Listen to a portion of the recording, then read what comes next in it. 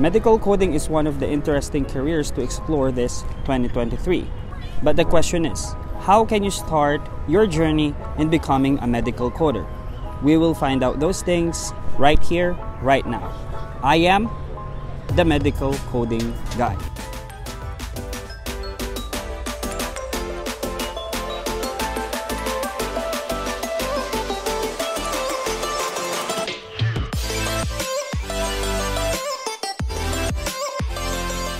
Before we start, please hit that like and subscribe button for more updates about medical coding. Becoming a medical coder is quite easy and we only have 4 steps to do that. AAPC is the organization that provides medical coding certifications.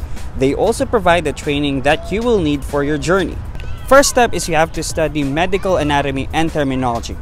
If you have a medical background, that will give you an added advantage for this course because you don't have to start all over again. Then after that, learn the basics of healthcare insurance and business of medicine since you will not only deal with medical documentation but also the rules of hospital, insurance companies, and healthcare entities. Second is learning the medical coding itself. We have various classification that you need to understand like the outpatient and inpatient coding and also risk adjustment coding.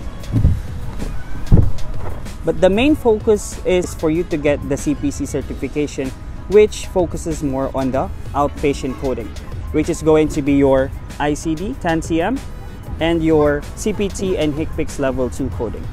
The third step is to prepare and take the certification that you wish to take. But again, I highly suggest take the CPC certification. It's a great way to get in the medical field without having to spend thousands of dollars on a degree and years of going to school if in case you want to enroll for a health information management course.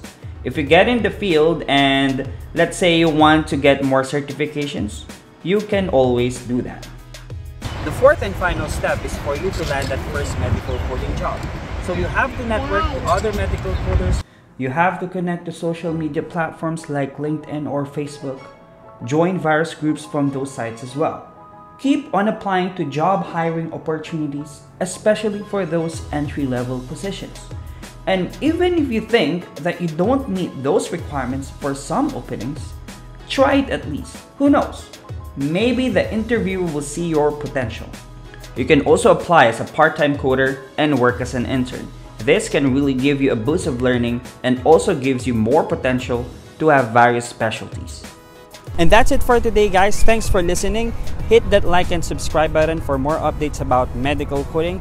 And always remember, without knowledge, there is no power. Have a nice day guys. So long. See you next time.